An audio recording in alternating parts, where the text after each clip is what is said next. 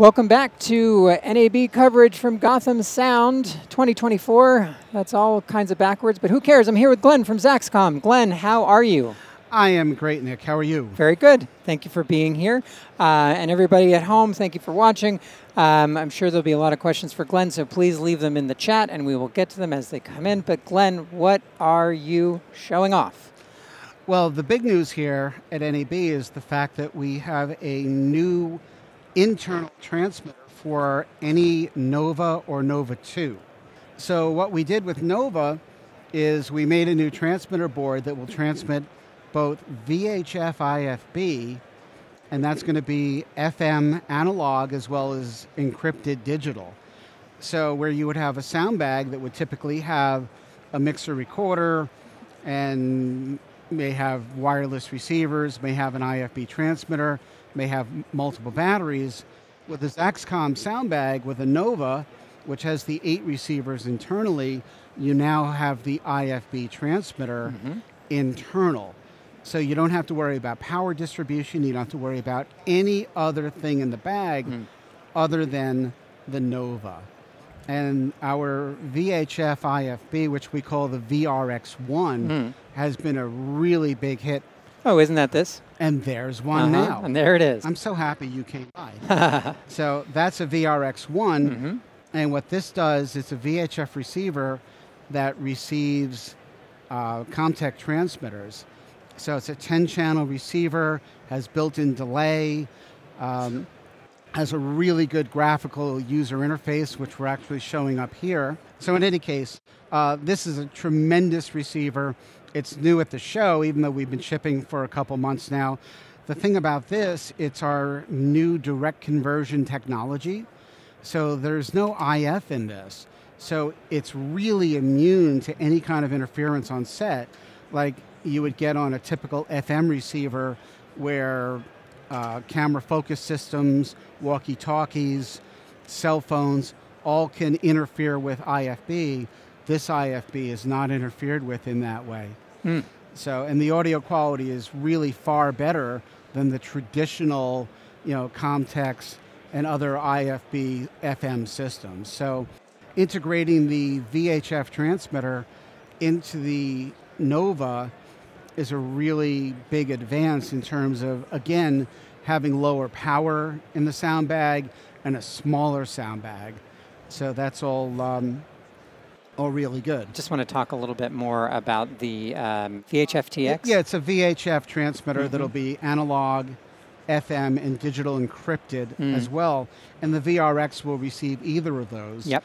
And with that, you can transmit straight from the Nova to traditional Comtek IFBs. Yep. There's actually a new jack on it so that you've got a ZaxNet output and you've got a VHF output. So uh, Sage wants to know, can the if this is set to digital mode, will it transmit in either stereo or with a with a time code stamp to the VRX? Uh, there's no time code on the VRX. Mm-hmm. If you're going to do time code, that's our, you know, URX series, mm-hmm. um, and the transmission on this will be mono for now. I'm not saying it will never be stereo. Yep. If it is, it'll be a software thing, but. Uh, basically it's it's a mono transmission. It's really made to replace IFBs. Yeah. You know, the traditional inexpensive VHF IFBs mm-hmm. with something that's much better sounding, uh, that has really good, reliable transmission. And another thing about the VRX is that when you're at the edge of coverage and it's dropping out, it doesn't do what every other VHF IFB does, which is make annoying sounds that bother the production. Right. It has a really intelligent squelch where it fades out very nicely. Mm. So, you know, the the response from the VRX has just been unimaginable to me. Yeah. With everyone that gets it and listens to it just absolutely loves it. So, you know, with Zaxcom, what we try to do is we try to integrate everything. So it's the wireless transmitters, wireless receivers, IFB, I mean, our ecosystem, the original ecosystem, I think is better than, than any, anything that you can get from other manufacturers. Juan and Ferris and Ivar uh, all said, will this be retrofitted for the Nova 1 and 2? I was going to mention that. Thank you for your questions. Uh-huh. Uh, yes, anyone that has a Nova 1 or Nova 2 will be able to get this upgrade. Mm, great. Yeah, we haven't priced it yet, but you know we're hoping that it's going to be, uh, you know, sub one thousand dollars, so which I think is less expensive than a lot of IFB transmitters. Yes. So and of course, again, being integrated, it's it's lower power, it's smaller, it's you know just overall, it's just great to have everything in, in one box. The VHF transmitter, in the Nova, is that something that is user replaceable or does it need to go back to the mothership? Uh, I would say if someone's handy with a screwdriver, it would be user replaceable. Okay. Um, right now, it looks like you just unplug the current ZaxNet board, plug this one in, update the software, and uh, if it's a Nova 2, there's an act- there's actually a, um, a connector to add, which is basically very easy to do. Uh, you know, I'm sure the dealers will be able to do it. Obviously, we can do it at, at Zaxcom. Uh, it's not tough to do.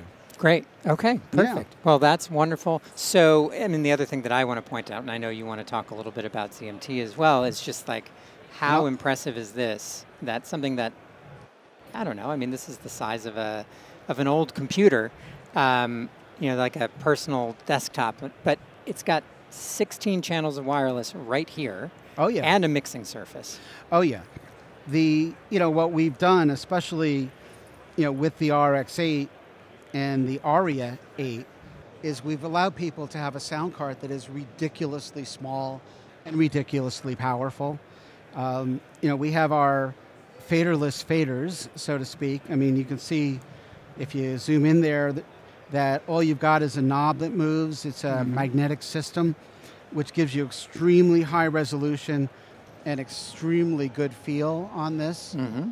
So we have it also, if you look over at the sound card over here, it's available as 8 faders, 12 faders, and 16 faders. This sound card here would be a typical Nova card. We've got our GUI bridge running the um, eight receivers here.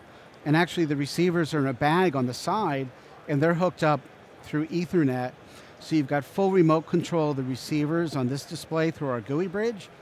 We have our Zaxcom Nova Touch over here, where you've got all the all the functionality of the Nova and a big display and the meters, and you're able to route and do all the functionality of the Nova. So what you have here is just an incredibly powerful sound cart, really easy to control, and uh, you know, frankly, very very cost effective if you look at it compared to to other things. Cool. That's great. And the new transmitter inside the um, the Nova. When? Yes. What's the the time frame on that? Uh, we're hoping to have it out this summer. Okay. Yeah, it's not for sale yet.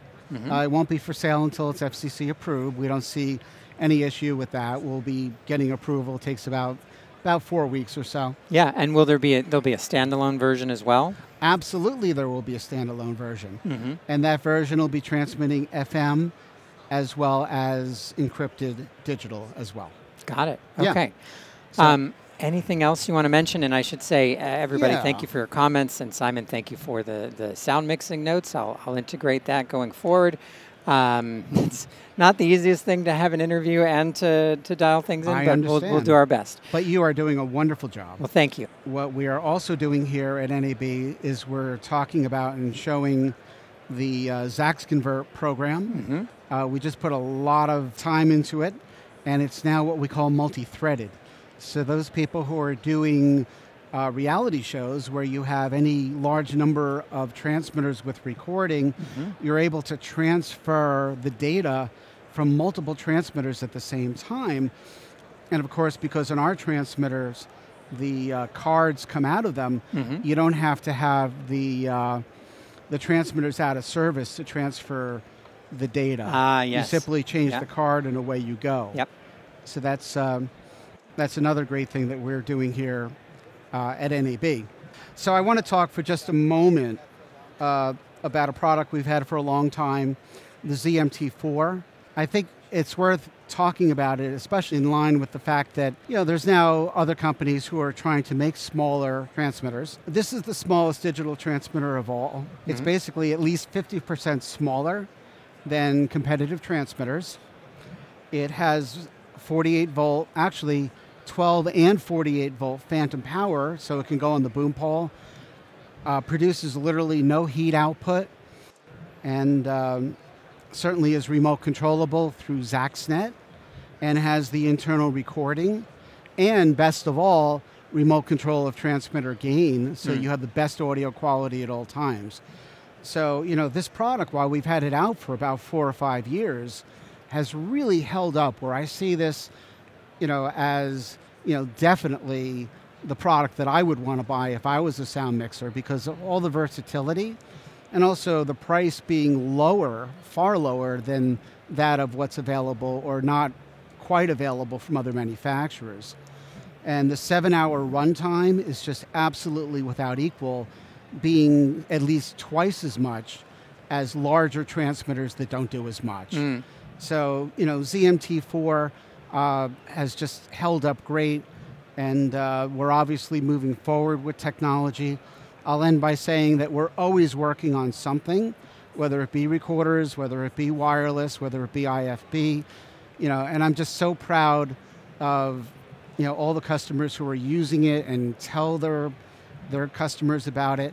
And frankly, the dealers who sell it, um, just, you know, everyone's been really, really good to us. And we hope to give back to them as well. Great. Glenn, um, you know, just on a personal note, I always, we have a lot of videos with Glenn um, on our YouTube channel. There's some deep dives into the, the URX, into the GUI bridge, and a lot of other things. And I just, I appreciate you uh, being somebody that partners with Gotham. Uh, I really do appreciate that. That's very nice of you to say. You guys have always been great to us, and um, you know all I can say is thank you. We're going to keep up our end. Okay, great, fantastic. Stay tuned for more uh, from NAB 2024, GothamSound.tv. Keep those comments coming.